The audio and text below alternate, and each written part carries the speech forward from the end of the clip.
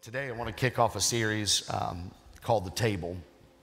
And I want to read a verse to you, and then I'll explain just a little bit. And um, because I love Melissa so much, I'm going to read a verse out of the NLT. And uh, so I'm going to need it on the screens because I don't own an NLT. So if you can throw that up on the screens, I can quote it to you in about every other translation. But 1 Peter chapter 4, verse 10, God has given each of you a gift from his great variety of spiritual gifts. Use them well. Use them, but use them well to serve one another. To serve one another. Can I just read you the whole context of that verse just for a moment? I'm, because I'm a New King James guy. Let me read just a couple verses ahead of it. But the end of all things is at hand.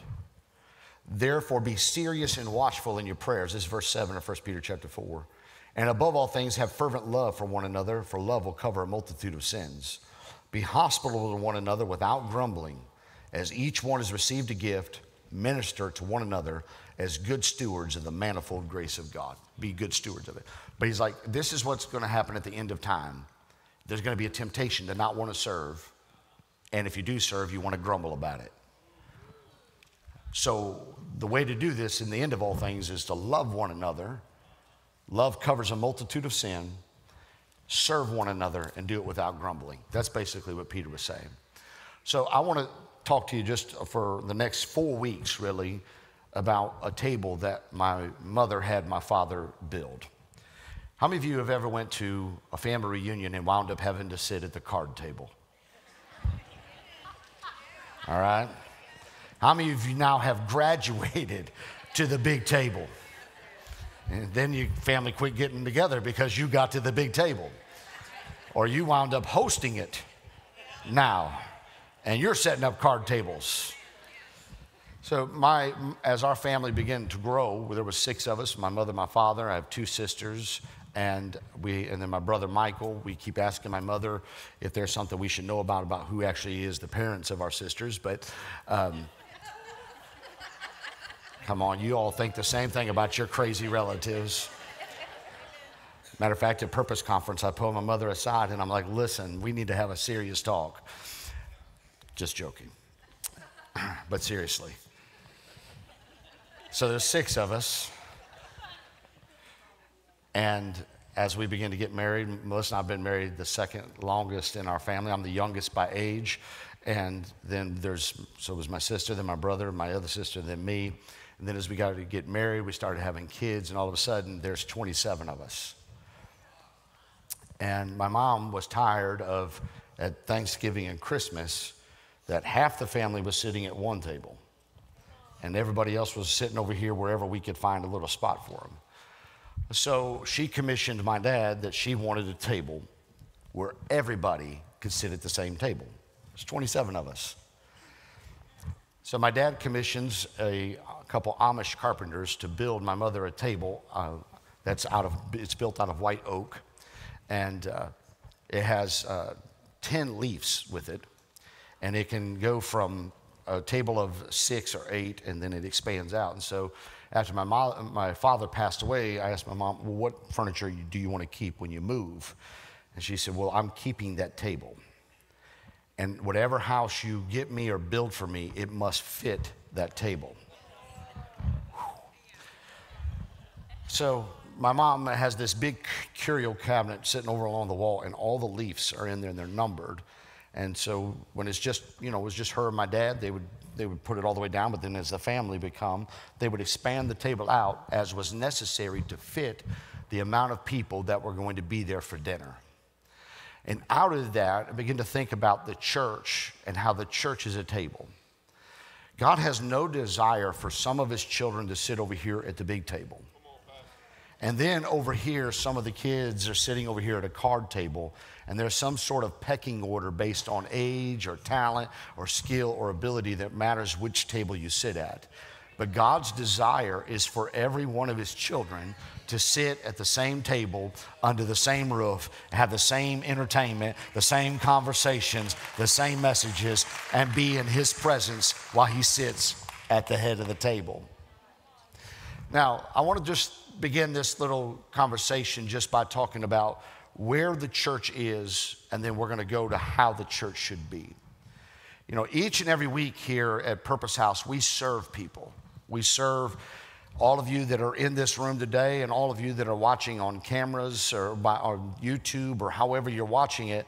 The reason why you're able to do that is because somebody chose to serve. And so we serve people in all different areas to handle all the various outlets of ministry that we do here. And we utilize a lot of outlets to spread the message of Jesus Christ, not just on Sundays anymore, but every day of the week. There are various outlets that we use to minister the gospel of Jesus Christ. And the church, for the lack of a better way to explain it, is the table. And the table or the church has changed drastically in the last four years. And most of us would say, yep, the pandemic, that really brought on a massive change in the church. But really, before the pandemic, the church uh, was changing drastically. And especially in America, the church was changing very quickly in America, even before the pandemic. And the decline of the American church is well documented. The Gallup polls reported that in 2020, before 2020, 47% of Americans regularly attended religious services of any faith. Only 47%. So, all of you that thought we were a Christian nation, even going into the pandemic, the majority of Christians did not attend church. 53% did not attend, 47% attended church services regularly before the pandemic. Then that number Uh, before the pandemic at 47% was down 20%. So in 1999, 67% of Americans were attending church regularly. In 1999, 67% were attending church. By 2020, we were down 20 points. We were down to 47% of Americans were attending church. Then uh, this decline was beginning all the way back because in the 1960s, it was 73% of Americans were going to church. And that held steady for almost 50 years, that number. And then it began to decline. And after the pandemic happened, and if you're not familiar with the pandemic, welcome. Pew Research says that we are now only at 30 percent of Americans attending church on a regular basis. And of all the churches in America, only 43% of churches in America are back to their pre pandemic levels. Over half of the churches in America have not recovered from the COVID pandemic. We at Purpose House are an exception to that rule.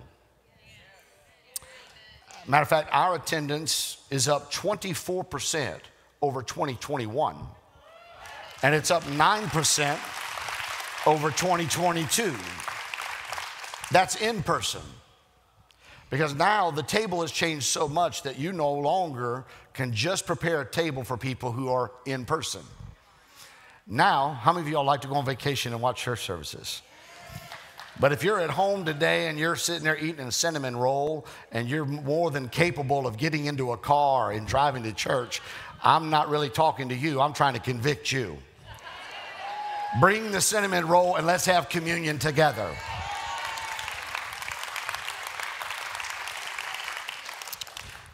So we're, we're, doing very well in person, but our broadcast, which we broadcast out over YouTube and then also over Facebook and some other avenues on YouTube, this is just from 2022 to the end of 2023.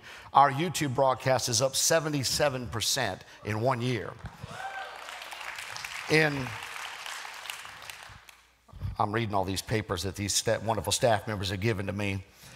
The amazing thing was is that in 2022 and before, this church had no audience under the age of 35 years old. But in 2023, we went from 0% of people under the age of 35 watching our church services to about 30% of our church services are now watched by people who are 35 years and younger.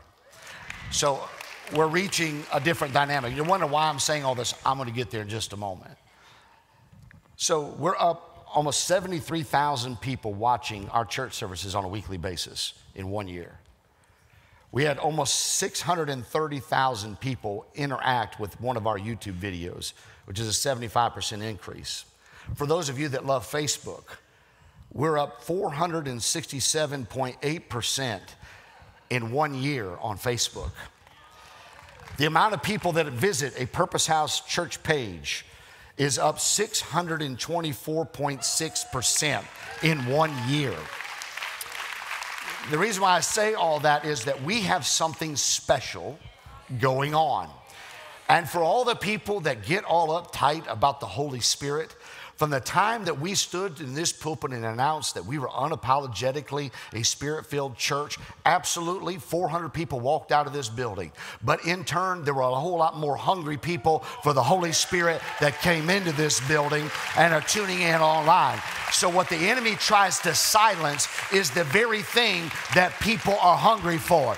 They want the Holy Spirit and they want every function of the Holy Spirit operating in a church. They don't want a church church service that's confined to 35 minutes and get you out the door and you check a box. What they want to feel is the Shekinah glory of the Almighty God, and they want to feel the rush of angels' wings. They want to feel the anointing of God. They want to see the gifts of the Spirit in operation and experience the gifts of the Spirit in operation because they walked in broke, but they're walking out healed. That is what needs to happen in the American church.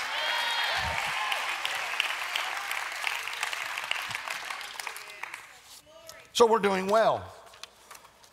In a season of inflation, our giving was up 5%. People say that's no big deal. Yeah, it is. It's a very big deal because you in Southern Illinois, you know, you impoverished folks, you're sitting in buildings that are debt free. You have something very special happening right here in Southern Illinois. We have a table that is being prepared for us. So we have something special, but we also must be aware that the table that we come to, the church that we come to, it still needs to expand. We need to grab a couple more leaves and pull the table apart and drop some more leaves in the table, grab a few more place settings and a few more chairs, and invite some more people to come to the table of the Lord. We're not inviting them to sit at a card table. We're not inviting them to sit out in the parking lot. We're not inviting you to an outdoor service. We're inviting you to the same table that we pull up to and we eat at the presence of the Lord. We need to start inviting people to the table of the Lord. But before you can invite people, somebody's got to be prepared to serve. Because the church is a table. And what do you do at a table? Now, I know some of you like, we fight at the table. No, we ate at the table. People get fed at a table. In John chapter 6 and verse 35, maybe you're familiar with this verse, Jesus said, I am the bread of life. Now, how many of y'all love just good smelling, wonderful bread in the oven? Y'all got to pray for Pastor Melissa because she come home from Nashville with some bread. She puts that bread in the oven. And my Lord, I got hangry because it was bread I couldn't eat.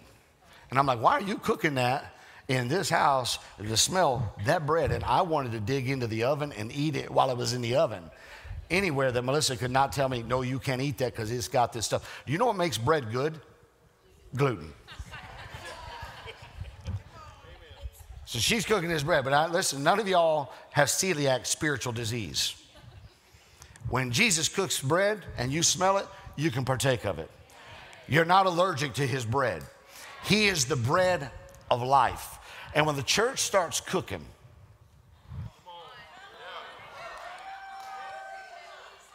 I think y'all know where I'm going with this, right?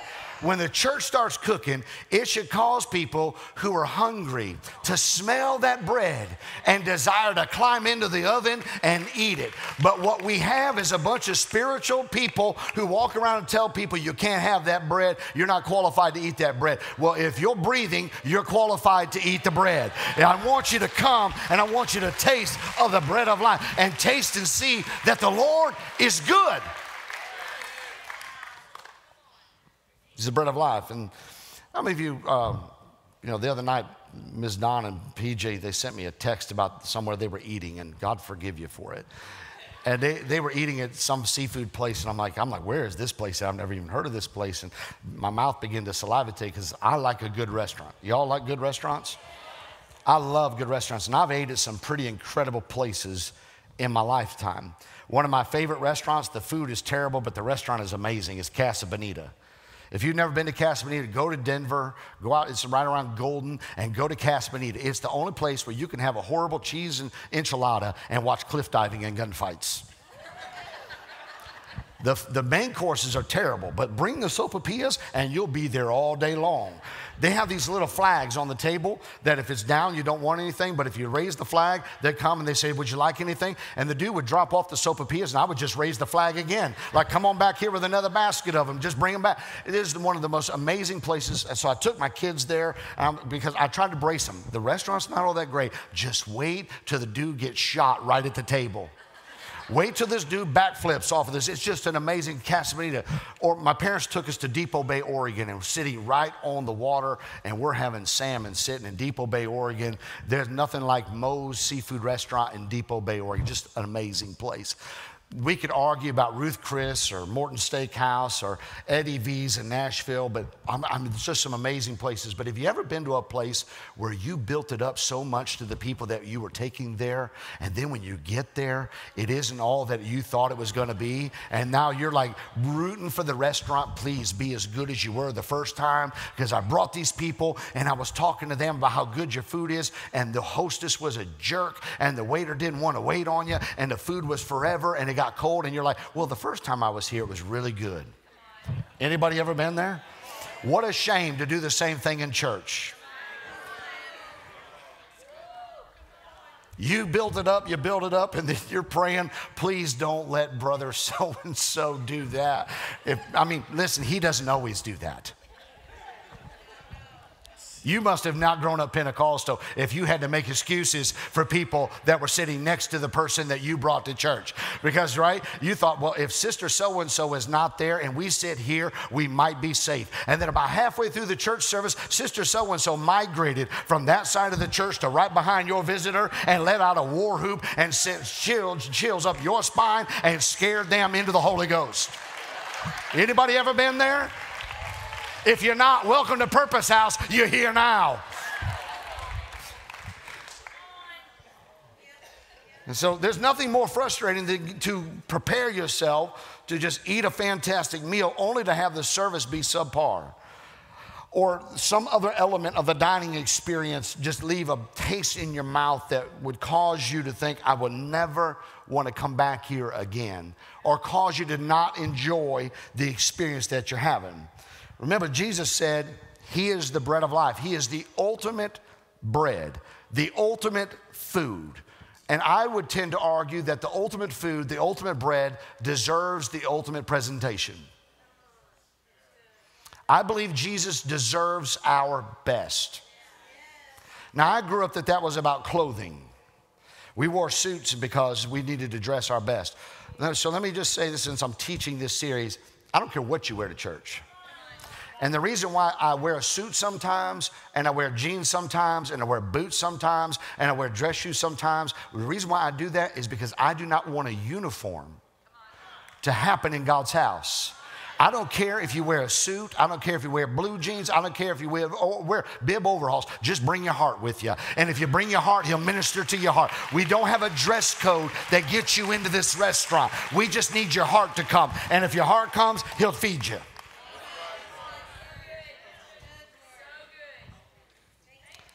He's the ultimate bread. I believe he deserves the ultimate presentation. The challenge that we have as the church in the culture in which we live in right now and all around the world, our challenge is not to put on you shine. Our challenge is not to have a good worship team. Our challenge is not to have a beautiful building. Our challenge is to feed people. Our goal is to feed people. And that's what we are required to do is to feed people and so we call that here, what we call that is to reach, to teach, and to equip people. That's feeding people. We want to reach people who are hungry, teach other people how to feed themselves, and then equip other people to go out and find hungry people and show them where to get something to eat.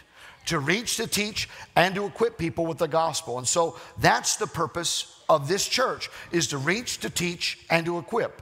But you cannot teach what you have not reached. And you cannot equip those who you are unwilling to teach.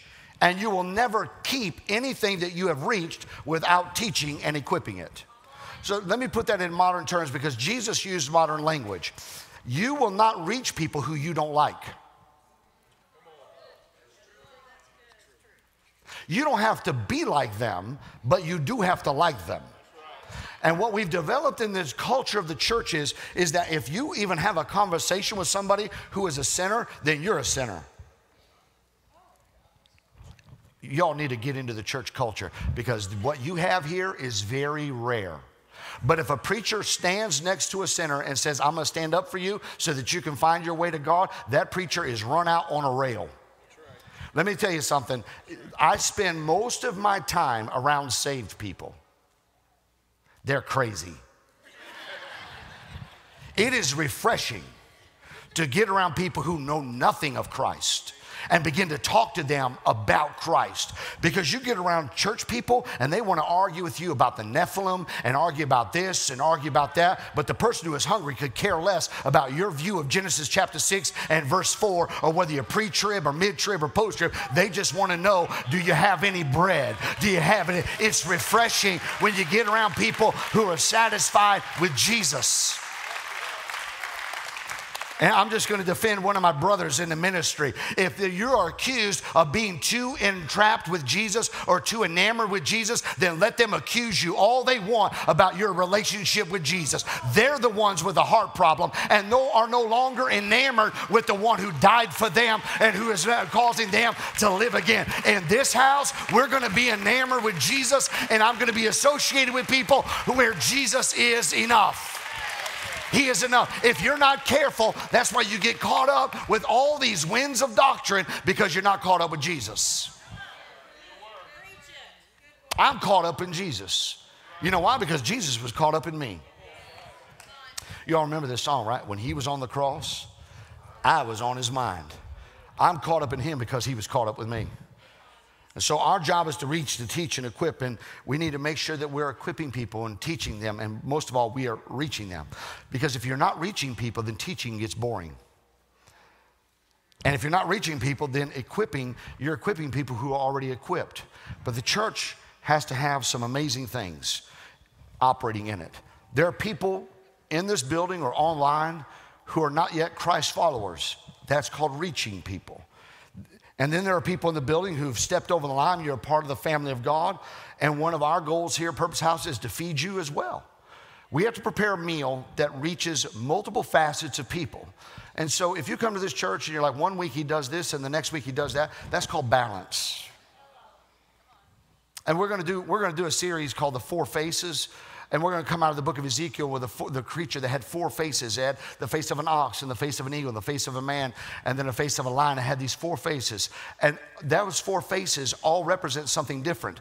And the wheels would turn. And one time they would go this direction, and one time they would go this direction, and the other time, they, but the faces never turn. The wheels just were moving. And sometimes we're going to be a church of prayer, and we're going to focus on prayer. And then there's going to be times we're going to focus on worship. And then there's going to be times we're focused over here on the gifts of the Spirit. We're not going away from from the one thing going towards another. We're just trying to have balance in the church because not everybody in the building understands speaking in tongues. So we're not going to focus on speaking on tongues all week, but we're going to hit on it and get them there. But we have classes that if you want to focus on that area, then go to that class and we'll talk to you about the God you never knew. We'll talk to you about the Holy Spirit. And if you're into healing, we have healing classes. But on Sundays, we have to prepare a meal that reaches everybody everybody.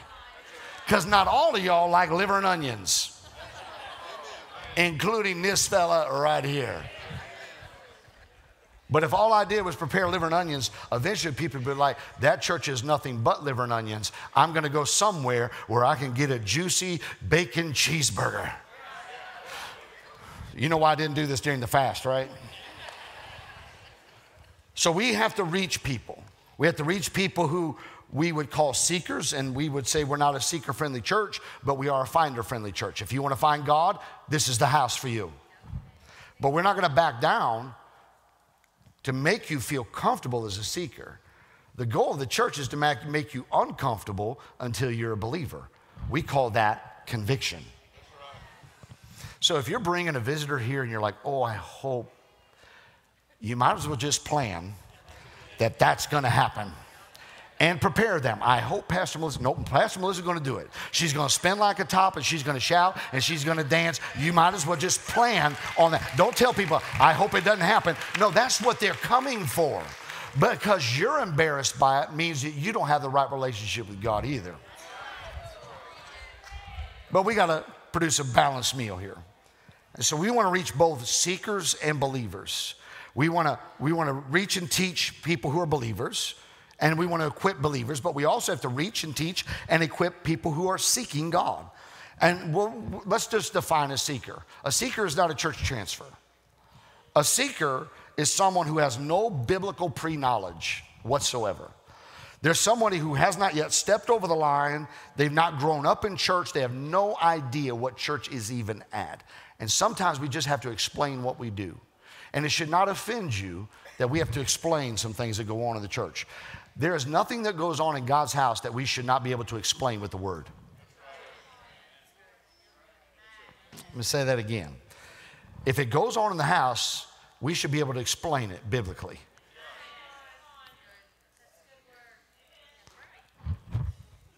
Otherwise, what basis do you have to stand on for what you're doing? If you don't know what else to do, go to the Word. And so we want to do, we want to feed people, and we have an opportunity to feed both believers and seekers every week. And we, we're here to serve one thing the bread of life. We're not here to serve Pastor Jason or Pastor Melissa, because I think a lot of people, they have idolatry in their heart. You will come to church when I'm preaching, and you'll worship when your favorite worship leader is worshiping. That's idolatry. I don't care who's behind this pulpit. Y'all don't know this, but Pastor, Pastor Don threw a left hook at y'all today, and I didn't even have to preach. Y'all should just like go thank Grizzy. Like, thanks for being, thanks for being a dumb dog and running off and, and coming back. Because out of that, man, there was a whole lot of prodigals that were getting preached to through Grizzy. and, and the other thing is, you cannot confuse style and anointing. You can't confuse it because Don Wilburn and Aaron Porter are two totally different styles, but they do not have different anointings. They have the same anointing, it just is coming out in their own personality. And if you confuse style and personality, you will amen style and miss the anointing. I hope y'all mopping what I'm dropping because I'm trying to be pastor.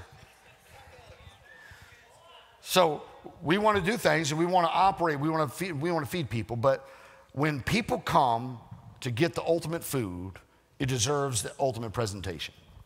Now, I'm not talking about coming to the table and you got styrofoam cups, plastic forks, paper napkins, and paper plates, or just having a hot dog weenie roast. No. If I'm going to invite you over to my house and you're going to come to our house, we're not going to use the same things that we use when you're not there. When you show up at our house, Melissa's got all this fancy stuff that she likes to buy, but she never uses it for us. Anybody else have this in your house? You have a cabinet over here that's got all these dishes in it, but you never get to use them. You go to touch them and they'll smack your hand. We ain't washing them again. I'm like, we only use them like once a year and they're the most expensive thing we've got in the house, but those aren't for you. I'm like, but you're married to me, and I'm supposed to be number one. But if Don and Shelly come over, she's busting out all the stuff, and I'm like, when did we buy that?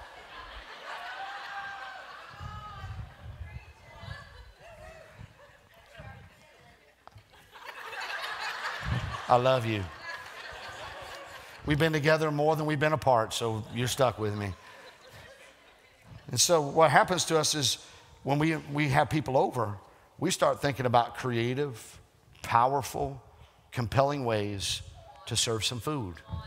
To serve, and we have to do the same thing in the churches. People are coming over to God's house. And they're coming to the table. Now we have a choice. Can we just treat them like ho hum and here's your styrofoam cup and you know grab a fork over there and put that over the fire and cook that hot dog and you know here's some stuff for some s'mores or is it worth going a little bit further and not doing the styrofoam cups and the plastic plates and all that stuff and putting out a spread that's representing who the King of Kings is? Because we have to remember that the other person that's showing up at the table besides you and I is Jesus. And we're setting the table. Now, I don't know how many of you like to have people over to your house to eat. I love having people over to our house to eat. And I can probably go through this room and there may be five people who've ever been at my house to eat because I love it. Melissa, not so much. We hired a cleaning lady and we clean the house before the cleaning lady gets to the house. Anybody else there? I'm like, why don't you just pay me? I'm the one cleaning in the first place. She gets here, I've spent six hours, she's in and out for an hour and a half, and you paid her a hundred times more than you've ever paid me. Well, we're trying to keep the uh, cleaning lady's opinion of us at a high level that we're clean people. I'm preaching some truth right now, and whoever is my security officer, the attack's gonna come from that direction in just a moment. it's gonna be a skinny little lady that has love on her sweatshirt, and there won't be any love behind it. she loves these sermons. And the night before, she's like, You got to get this done and get this done. And then we get up at four o'clock in the morning because the cleaning lady's going to be there at nine o'clock. And I'm exhausted. And we get home and I'm so exhausted, I don't even enjoy the clean house. Besides that, Zoe comes home first and the dogs, and it's destroyed before Melissa and I ever get to enjoy it. But here's what happens, right? We don't want to have people over because we have to change our behavior. And then we have these imaginary boundaries of what people really think about us. But listen, everybody in this room is laughing about Melissa and I's lifestyle because you all live the same way. And so we don't invite people over because we want them to think that we live clean. And we all know that the moment that the ring camera goes off and people pull in the driveway, we're making one final sweep through the house to make sure all the underwear and the dirty laundry and the toothpicks and the dental floss and everything is picked up and it all goes into the one closet that it would never go in in any other day of the week. But we throw it in there. And then when people come in, they say, Would you like for me to hang up my coat? No, I'll take your coat for you and I'll put it over here on the bed because I don't want you to open that closet door. Careful that we don't do that in the church, that we're waiting until the last possible moment to get all the junk that's in our trunk cleaned up and throw it into a closet somewhere. We need to be prepared well ahead of time when people come to God's house. Human nature is human nature, my friend. But when you when you come over, like when, you know, it's not you, Melissa and I love DoorDash. Anybody else love DoorDash?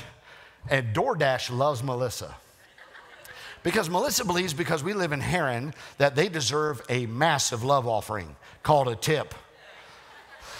So, man, the DoorDash drivers clamor to come to our house and just drop food off, and we don't even see them. They just drop the food and we go. But so when it's just us, we're like nine o'clock at night, we're like, what sounds good? But if we invite you over, we're not thinking about it right at the time we're hungry. We're thinking about it long before we ever even have a conversation with you about coming over. There's something called an invite. You know, if you want to invite people over to dinner, you go to them like, hey, your schedule and my schedule, and can we get this all worked out? And you invite them, and the whole time you're inviting them, you're trying to figure out like what do they like to eat? And, and I know they go there, and what are you thinking about this? And you know, we're starting to think about the atmosphere of the room that night and who's coming over, and all these things are going on. Well, at church, you know, when we invite people, I know you guys are inviting people to church too. And so as soon as I say amen at the end of this sermon, I immediately have to begin to think about the dinner that's happening next week. And I got to start thinking about it and like who's going to be in the room and who's going to be there and what's the atmosphere and do we light candles and what kind of music and all those things that go in to having church. And at the same time, we can't just think about the, the menu, but we also have to think about what it looks like when we invite them. Like, what are we inviting them to? Are we inviting them to, uh, you know, just hamburgers and hot dogs? Are we inviting them to steaks? What are we inviting them to? Because the invitation kind of sets the expectation.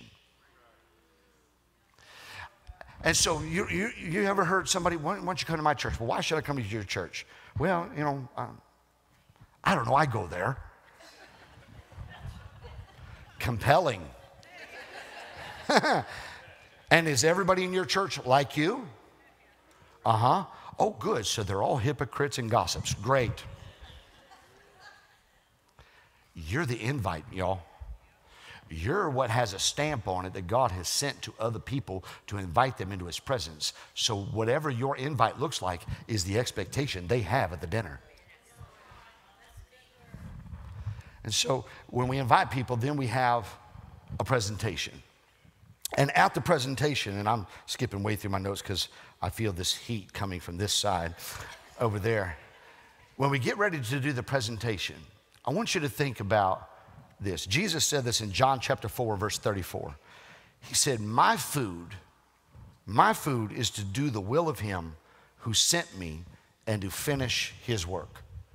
John 4, 34. Jesus said, My food, what feeds me is doing the will of God for my life. So I want to say this uh, the one reason why there are so many unfulfilled Christians is that you are not being fulfilled because you're not serving. You're not doing the will of God for your life, and so you are very unfulfilled because, like Jesus, you said, My food is to do the will of Him who sent me and to finish His work.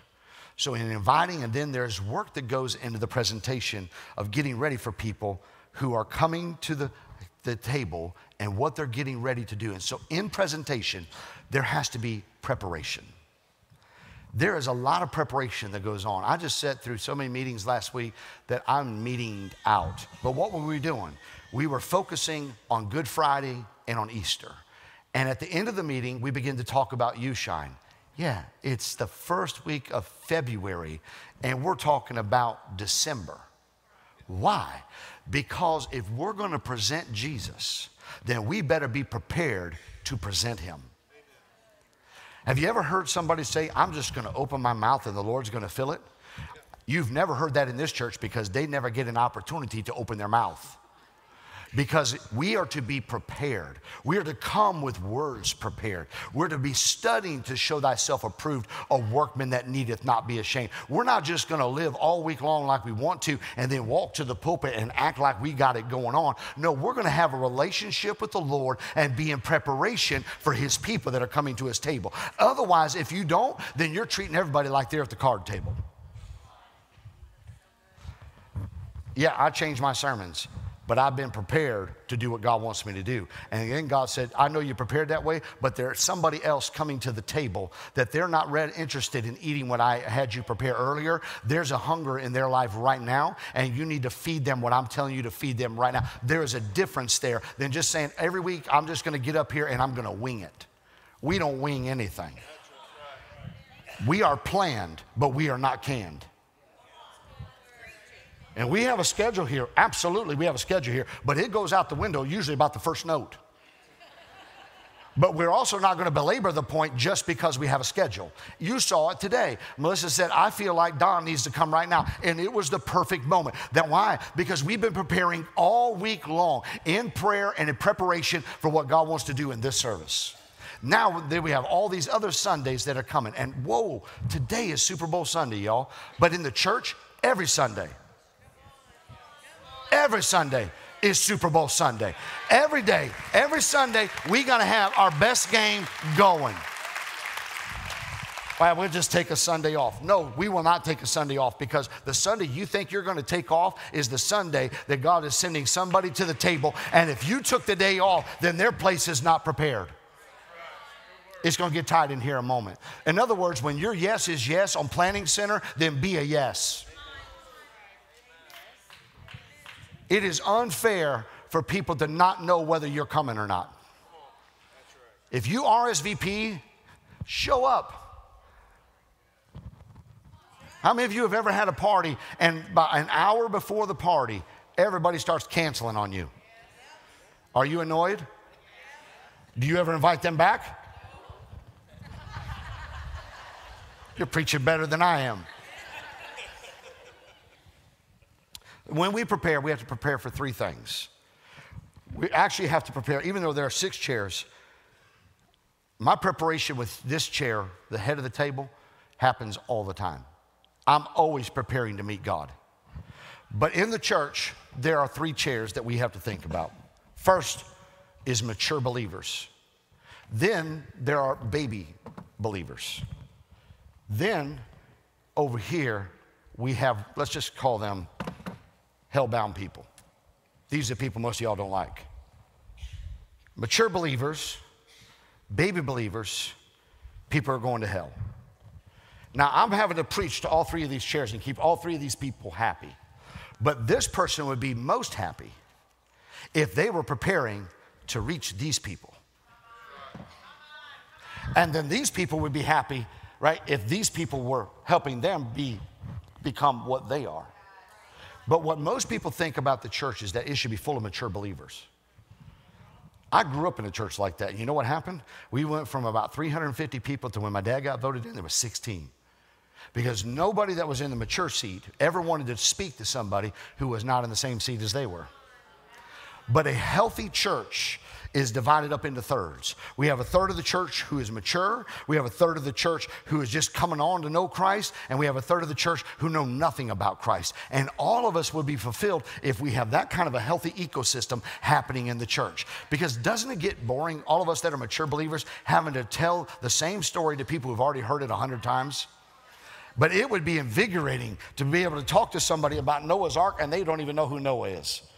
What's an ark? Oh, well, you just helped my studying. I don't even have to study on all these weird topics that all these believers want to talk about. I can just talk to you about Jesus and who he is and that he died for you, and you're excited about that. And we move them from this chair over to this chair.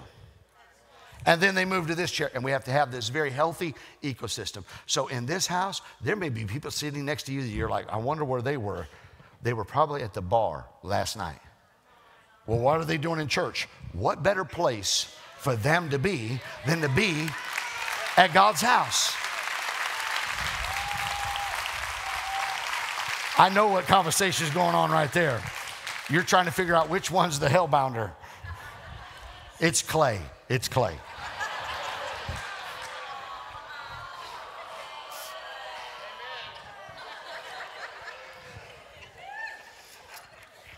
This is two services in a row where I've been speaking that you've been getting picked on.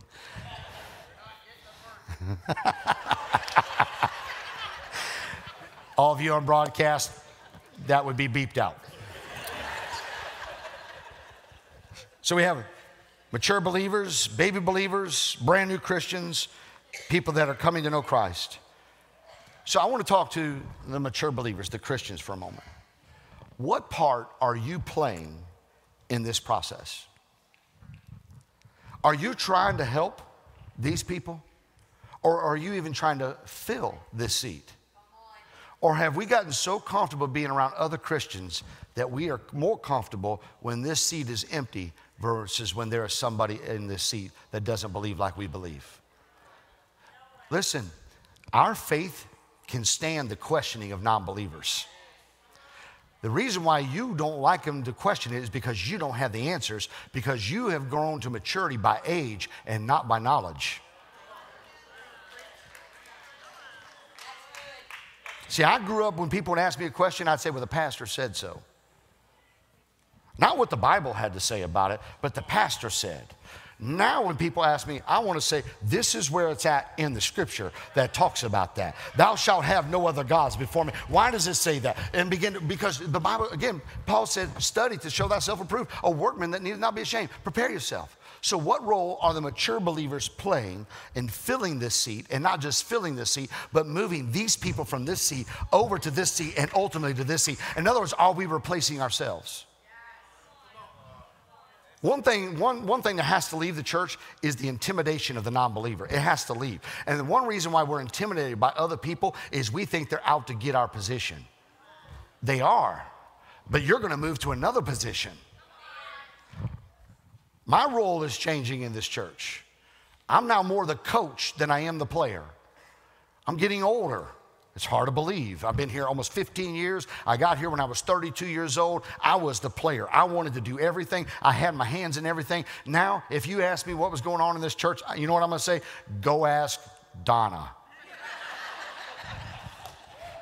I have to ask Donna, where am I supposed to be? Who am I talking to? What am I doing? How long am I going to be there? What am I eating today? What day is it? What time is it?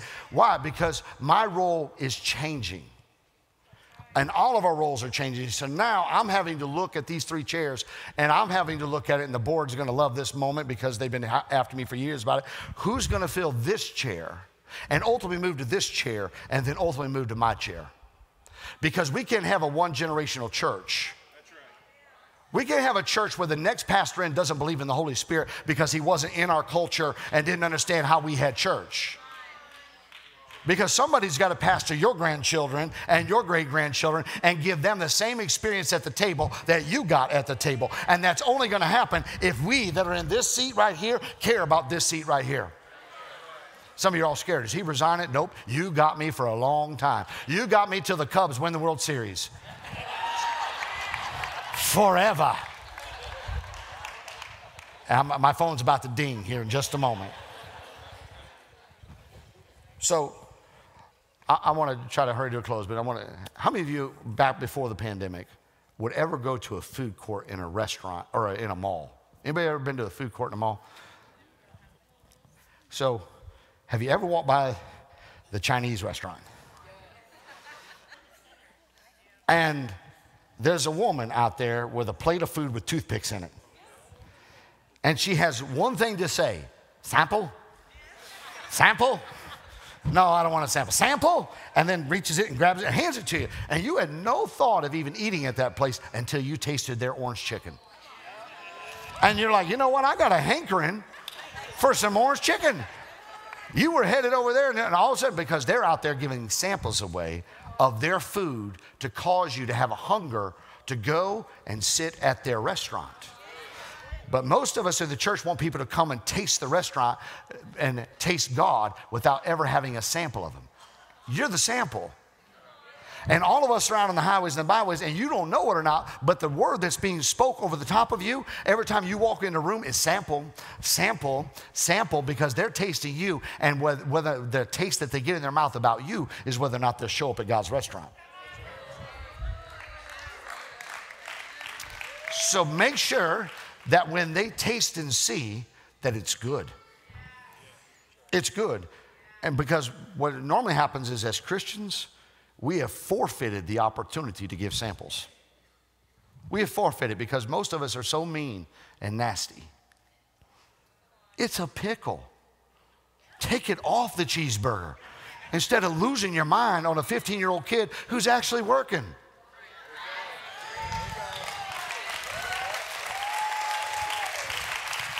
Take off your purpose shirt, have another shirt underneath it, but take your purpose shirt off if you're going to act that way. Because you listen, you're not only representing me in this house, you're representing Christ. I was at Rural King the other day, and the poor, the poor cashier, I felt so bad for her.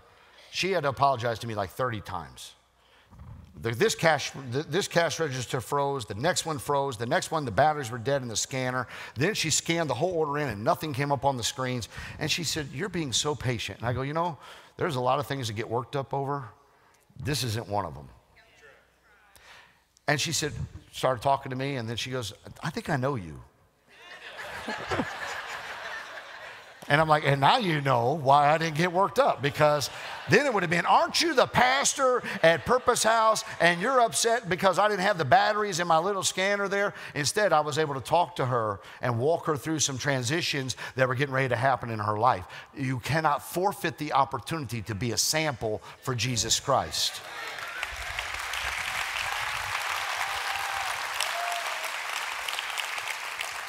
So we have to think about that. We have to think about what, how we taste, how we act, how we speak. We're representing Jesus Christ. And also, I think the church should look at some things and say, what are the barriers that are keeping people from God's house? And what are the barriers that are keeping God's house from being a leader in innovation and in technology and in finances? I, I just come against the thought that we are the church behind the tracks. I believe that God's church is the head and not the tail. I don't believe as a city goes, so goes the church. I believe as the church goes, so goes the city. We're the head, we're the leader. That's why there's such a move to silence the Christian voice in politics and in business because there's an anointing and there is a favor on God's people that we are actually supposed to lead and not follow. I believe we should be the wealthy people. Why? Because the wealth of the wicked is laid up for the righteous. So if the, God's wealth is laid up for us, then we should be wealthy. We should have business minds. I believe that God's people are the blessed people and they are the favored people. I know it's hard for some of you to believe that, but if you believe that, if you're the head and not the tail, you're above only, you're never beneath, that's why we have that mantra and we're teaching your kids that every day. Because we're supposed to lead and not follow. So the church should say, what are the barriers that are keeping people? Like, what's wrong with the church having the best show in town? I'm gonna look at the cameras just for a moment. What's wrong with us having the best musicians? What's wrong with us playing skillfully before the Lord? What's wrong with us having the best singers? Most of the singers that win Grammys and NAMIs started in church, but the church lost them. And it's time for us to reclaim and to redeem what the enemy has been stealing from us. The church should have the best. We should have the best buildings, the best technology. We should be the leaders of innovation. We should be the leaders of every bit of. Your child should be able to serve in this church and go get a job in Nashville. Why? Because we've already trained them to do it. Best sound men, best lights, best everything. Why? Because God created it all. And when the enemy uses it, people pay big money for it, but the church uses it and people criticize it. We have it backwards. They're using what God gave us. We need to use what God gave us. You can, you can watch God. God's very innovative. He used fruit with Adam and Eve, gave an illustration. He used salt to give an illustration with Lot and his wife. He used a boat and a whale to teach us a lesson through Jonah. And ultimately, he used the cross to teach the whole world a lesson about sacrifice and redemption. So, what's wrong with the church using it? We should redeem it. And we need to lead the church, lead it in creativity and uniqueness, and leverage everything that we have to our advantage. I don't want to get off of Facebook. Why? Because the enemy is using it for something, the church should use it for something. We should be involved in it in every area and lead in it. So, and the other thing we have to do is feed his sheep. This is what Jesus told Peter in John chapter 21, verse 18. We need to feed the sheep. And as preachers, all of our leaders in here, we're the chefs. We're Guy Fieri's. Sometimes we got to go to the diner, sometimes we got to go to the dive, and sometimes we got to go to the drive in. But we got to reach them. We got to feed the sheep. And so, my job as the pastor is to not muddy up the food. I need to talk in language that people understand. Melissa tells me all the time I have a great knack for making the complex more complex. We have to take something that is complex and try to break it down in simple ways for people to understand, right? You're going to have people come in here when we take communion, like, are you really drinking blood? No, this is a type. But it's okay. We have to make the complex very simple. How does that happen in our lives? So we need to be simple, but not simplistic and keep breaking the bread of life out for people and reaching all three of these chairs. I'm moving quick. So we've got preparation, we've got invitation, then we have the presentation. We want to show people and give them answers on how to take the food, to receive the food, and to take that food and make that food a part of their body. I remember the first time that I ever went to a fancy restaurant. We went to the Chardonnay in Naples, Florida. And my dad's taking all of us little kids into the Chardonnay. And when we walked in there, he was trying to walk us through the, the restaurant. But the maitre d' stepped in and began to teach us how to take our napkin and what the napkin meant, where we placed it on the table was a signal to him to do something for us and what each fork was. And he was breaking this down. And it caused all of us to be at ease because we had no idea what we were doing. But because somebody else that had experience was teaching us how to receive the food how to eat the food and how to be proper when we did it, it was taking pressure off of us. And what we need to do in the church is we need to explain some things to some people about how to eat the food and how to receive the food and how to consume the food. And this is how you worship and this is how you praise and this is why we give offerings and this is why we give of our tithe and this is why we do these things. It's not that we're trying to be simplistic, but we're trying to make it simple because you live in a world where they don't understand anything that goes on here. Why would I lift my hands? Why would I bow my knee? Why did that person lay on the floor? Why is she dancing like that? We can back it up with the word and teach them how and why we do the things that we do. Present it in a way that is understandable to people. And we want to show people and we want to give them answers for their questions. And when we give them answers, we have to think about all three of the chairs that are represented. Sometimes I'm going to have to say something that only these people might get or these people get, or these, and I might say something all of them get, but the job is to prepare the food for all sects of life and make sure that everybody knows what we're talking about here. You know, when Melissa and I came here to Southern Illinois, it was quite interesting. We had heard about all these churches, and there was a church on every corner in Southern Illinois. At that time, it was home to one of the larger television ministries in the country. And people are like, this is going to be a tough go of it for you guys. You're going to try to establish a Pentecostal church in Southern Illinois. And, you know, thought, this is just, you know, everybody I met was Christians. Well, I gave you statistics before that proves to you that not everybody is a Christian. And if you think everybody in Southern Illinois is a Christian, they're not. But the enemy would have you to believe that everybody is a Christian so that you no longer have to present the gospel to people because you think they've already heard it. When in fact, the vast majority of people have never heard it. At least they've never heard it in a way that is enticing enough for them to want to go beyond hearing into receiving it. And the church has got to do something amazing to get people to become a family of God. And there's a lot of people in church who need to get back involved in being a part of the church. And what the number one thing I've noticed about Southern Illinois, and if I'm offensive to you, I'm sort of meaning to be. There is a lot of people who are very diet driven. And they think that health only comes through being diet driven. I'm going to eat my way to losing weight. Or I'm going to, no. If you ever go to a doctor and the doctor wants you to get healthy, he's going to tell you there's two things you need to do. You must have heard this diet and exercise. And in the church, we believe that being a part of the church is to be here only. Diet. And we never exercise. There are some really spiritually obese people in the church who do nothing but consume and never exercise and serve in their gift. We have heard enough gospel to be saved. See, we've developed something, and, you're going to learn something about me in this, and this was not on my notes, so Pastor Melissa, you may want to come and tackle me. But God has a real sense of humor to make me a pastor because I despise the way that the church is. We have made the church into what we've wanted it to become and not what God has wanted it to become. We've turned the church into a system of policies and procedures and church services that are acclimated to what we like and not what God desires. We want church services to start when we want them to start, go how we want them to go, and end when we want them to end. And God has no pleasure in any of that. God wants to move when He wants to move, and He wants to move all the time. And He's not interested on, in your cutoff time, He's interested in reaching your soul and your family souls.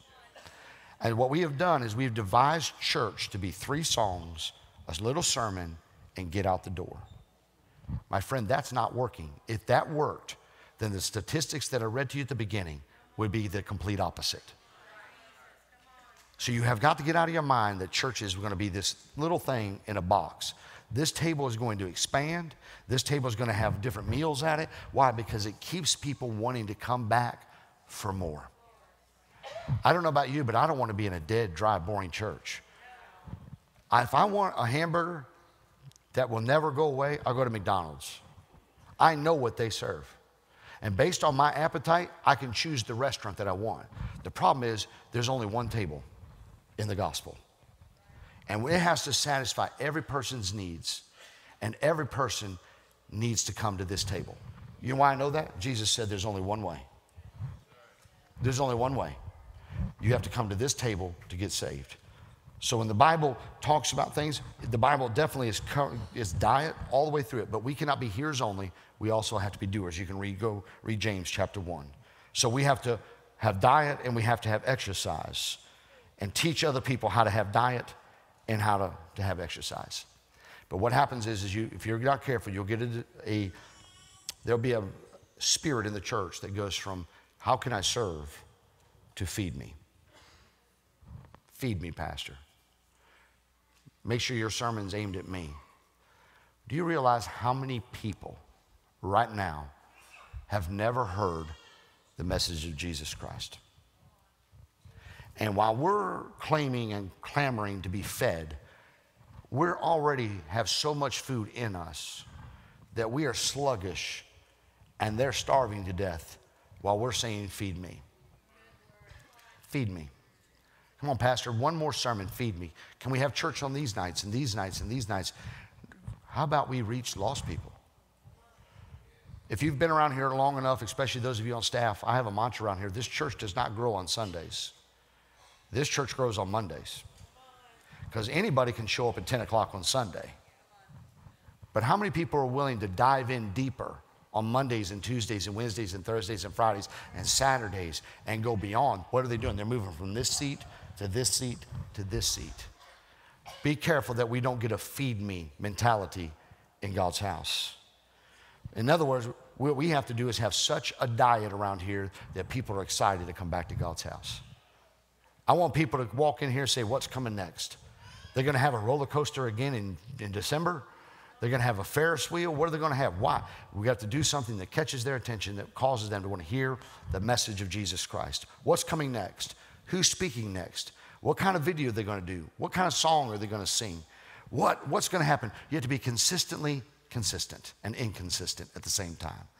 Being simple but not simplistic and serving a balanced diet of diet and exercise and a balanced diet of the bread and life. You say, why, why should the church be concerned with any of that? There's an old song, and this is going to show my age a little bit, but there's an old song called Breakfast in Hell. Maybe you've heard it. These are the words.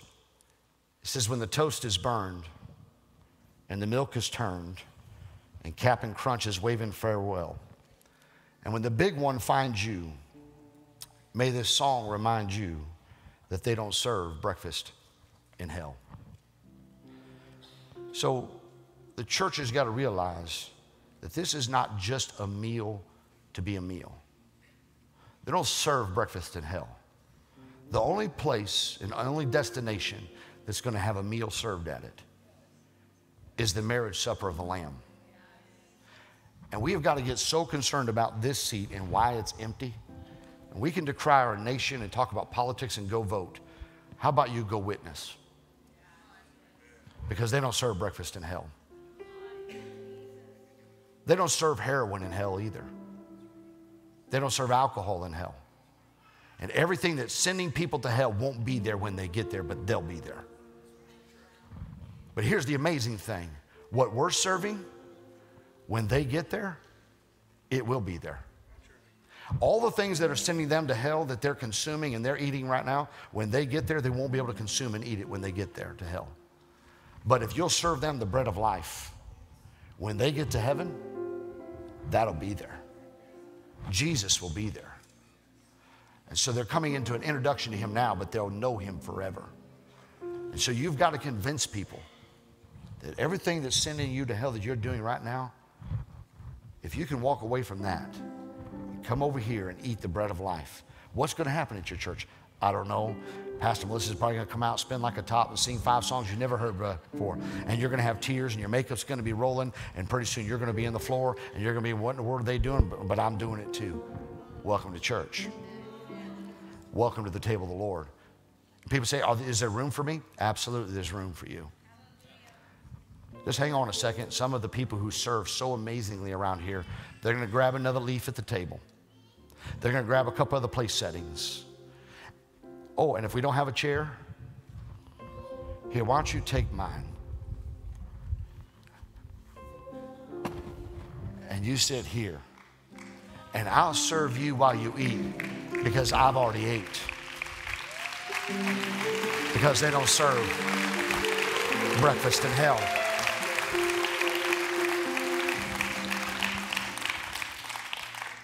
So, with every head bowed and with every eye closed. Lord, you talked about the harvest and that the harvest was plenty, but the laborers were few. And you said, Pray that the Lord of the harvest would send laborers. So, Lord, I'm praying right now that you would send us as laborers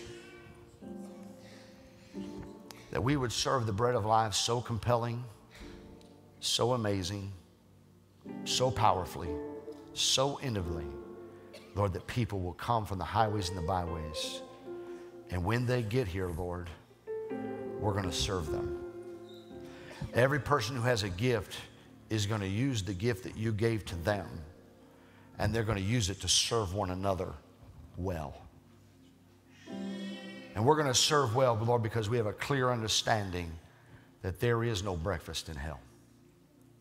And we have to reach them right now before it's too late. And so, Lord, may we never get over the people who are dying without you. May we never lose the burden of being a reaper. But Lord, would you set a burden in each of us that it would be our food, it would be what drives us and motivates us and energizes us to do the will of the Father who sent us to help complete this work, to reach the lost for you. And I ask this in the name of Jesus Christ, and all of God's people said, Amen. So, over the next three weeks, I'm going to ask you to sign up somewhere to serve. Serve somewhere. Serving, being an usher, a greeter, parking lot team. Our broadcast team is expanding and growing in all kinds of ways. It's, it's the front door of our church. Most people who come through membership, they say, I came because I watched the video. Welcome to church. Serve in the champions room. I think Champions Room is going to turn from Champions Room into the healing room. And children with autism are going to walk in with autism but walk out healed. Serve in the Champions Room. Serve. Serve on the prayer team. Serve on the baptismal team. Serve on the stage team. You want to talk to me every Sunday? Carry my pulpit out. I'll talk to you. I'll tell you a joke on the way back. Serve. Serve on the worship arts team. There's so many places serve holding a baby. Because it's really hard for God to speak to people when their baby's screaming in their ear and God's trying to whisper to them. Hold their baby. Love the baby. Teach kids. You want to change a generation? Change a child. Changes a generation. There's so many places to serve. God gave you a gift.